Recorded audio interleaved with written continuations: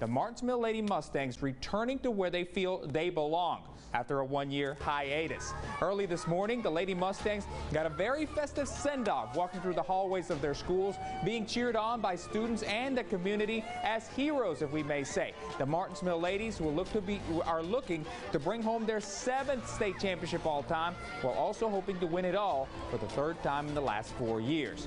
Hey, it's the 14th year in the last 16 that they have at the very least been part of their classification's Final Four, something the community takes a tremendous amount of pride in.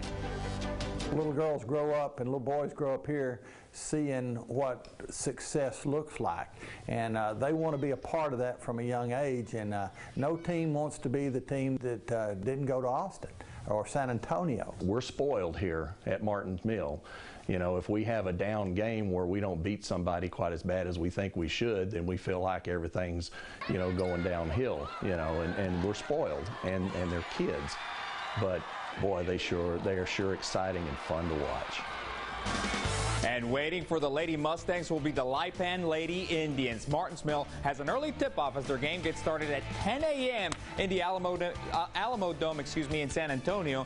The girls from East Texas look to add another title to their trophy case on Thursday.